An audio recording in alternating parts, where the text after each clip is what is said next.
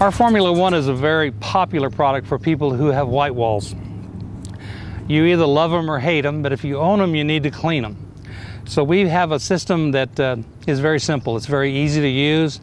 Uh, something that to make you aware of is that rubber oxidizes as does aluminum. So this cloud over this tire is basically oxidation.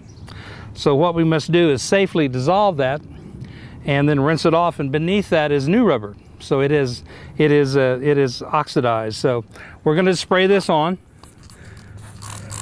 It also works as a wonderful wheel cleaner. It's a brake dust emulsifier.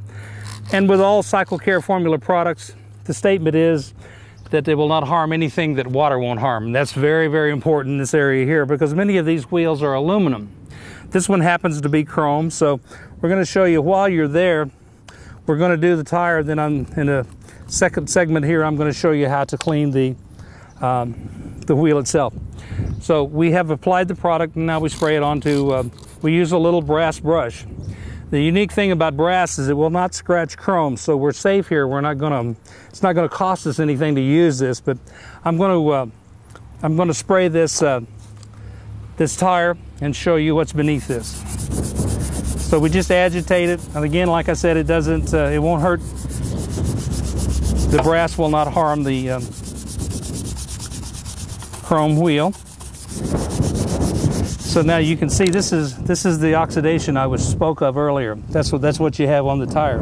So then you just rinse it. I'm going to use a little spray bottle here, but you just rinse it, and beneath that oxidation is a brand new looking white tire.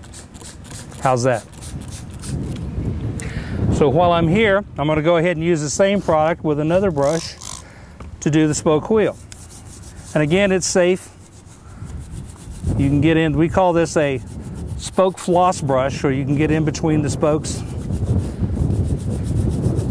and just generally clean this ugly looking wheel from all the brake dust. So again, it's free rinsing. You just take your hose or your spray bottle and you have a clean wheel. And it's really that easy. Nothing to it. You've not harmed yourself and you've not harmed the environment.